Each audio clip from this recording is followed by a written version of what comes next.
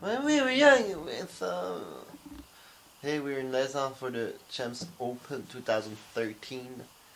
Um, I'm in the finals. I'm really stoked because it's my first comp since my injury, and uh, level is really high. So I'll try to do my best. My ankle's still kind of hurt, so let's see what happens. See ya.